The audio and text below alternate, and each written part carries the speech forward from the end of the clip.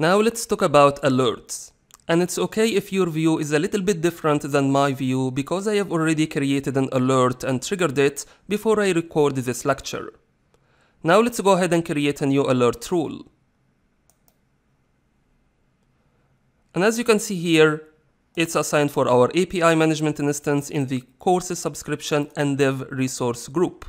Now let's go ahead and create the condition. And those are the metrics that we have talked about before, and I'm gonna go ahead and select the capacity metric. And the dimension name I'm gonna be Australia East because I have only one instance for my API management instance. And I'm gonna select the static threshold if the value is gonna be greater than 1%, and the aggregation granularity is 5 minutes, and the evaluation runs every 1 minute.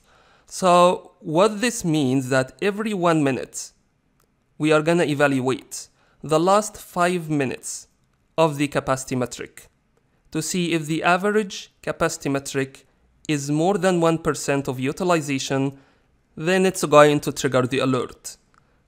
Now let's go ahead and add the condition and let's select the action group to be application insight smart detection and let's name this alert rule to be capacity alert dev resource group severity level 0 and let's go ahead and create the alert